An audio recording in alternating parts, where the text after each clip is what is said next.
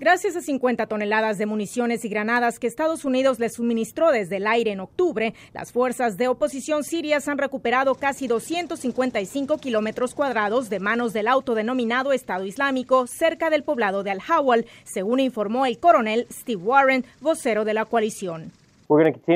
Seguiremos operando así mientras funcione. Si es necesario, haremos adaptaciones. Por su parte, el Observatorio Sirio para los Derechos Humanos corroboró que el ejército oficialista recuperó el control de un camino clave en el sudeste de Alepo que estaba en manos de Daesh, como se conoce al Estado Islámico. Pero videos difundidos en Internet cuya autenticidad no ha podido ser comprobada de manera independiente parecerían mostrar además una vasta destrucción en zonas residenciales de Idlib y Alepo y a civiles expresando su desesperación. Estas son las masacres de Bashar al-Assad y la Fuerza Aérea Rusa. Nos atacan con armas que no conocemos y están prohibidas a nivel internacional. Esta gente son vendedores, todos civiles que viven pacíficamente.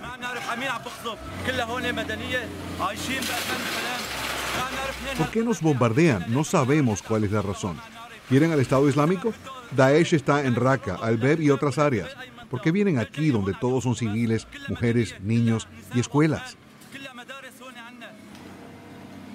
En recientes horas, el Observatorio Sirio para los Derechos Humanos informó que insurgentes sirios capturaron el poblado de Morek al norte de Hama y con ello dieron un revés a los oficialistas en el oeste de Siria. Verónica Valderas Iglesias, Voz de América, Washington.